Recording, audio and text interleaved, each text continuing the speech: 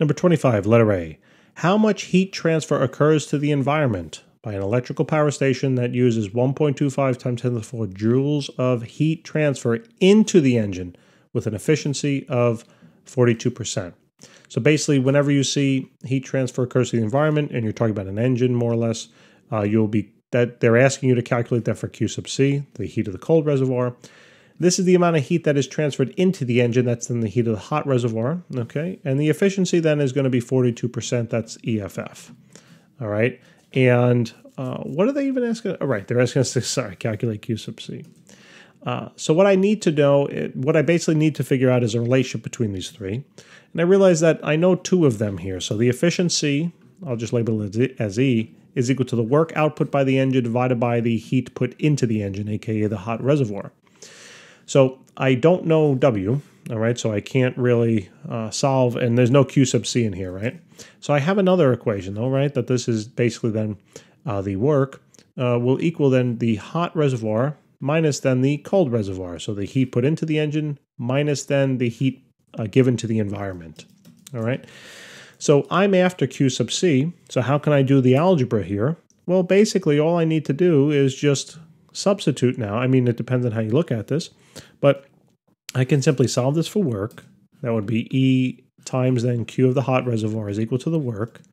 And then simply take that result, plug it on in here for, for work, and I realize now we have efficiency multiplied by Q sub H will equal then Q sub H, one second, Q sub H minus then Q sub C. And I got to solve this thing for Q sub C, so I'm going to bring that on over to the left. I'll add it, and I got to subtract this on over to the right.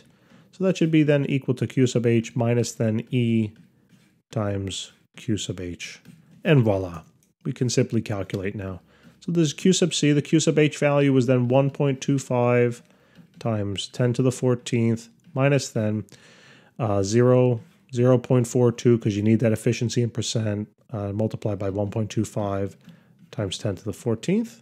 And let's see what we get. 1.25 times 10 to the 14th minus then 0.42 times 1.25 times 10 to the 14th.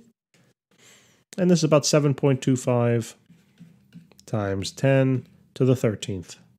And that is in terms of joules. That's the amount of heat loss to the environment. All right. And that is how we do letter A. All right, let's take a look at now letter letter B. So it says, what is the ratio of heat transfer to the environment to work output? Okay. Um, so now we can basically uh, take this ratio. Uh, it depends on how you want to set it up, but when they say heat transfer to the environment, you know, heat uh, transfer to the environment to the work output, they're basically asking us for this ratio, Q sub C, because that's the heat transfer to the environment per work output, per work, W. All right. Um, so now all we need to do is basically, again, I need to solve this ratio. I know Q sub C, I just solved for it, but I don't know the work. But I do know that you know, the work is equal to this, right, as we solved before, uh, not solved before, excuse me, that we, we used that formula before. So I can now simply just take that and plug it on in for work. And now I know all the variables, right? There's a Q sub C divided then by Q sub H minus Q sub C. All right, and that's simply going to be 7.25 times 10 raised to the 13th divided then by uh, Q sub h, which is 1.25, 1.25 times 10, whoops, 1.25 times 10 raised to the 14th minus then 7.25 times 10 to the 13th. And let's see what we get. So we get that value divided by then 1.25 times 10 to the 14th minus that value of 7.25 times 10 to the 13th, and we get about uh, a 1.38 to 1. So 1.38, that's a 1.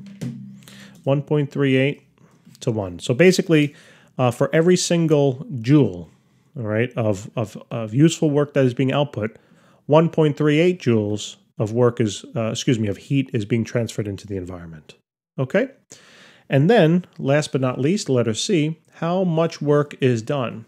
So we can essentially now just use this formula, plug in Q sub H, and subtract from that Q sub C.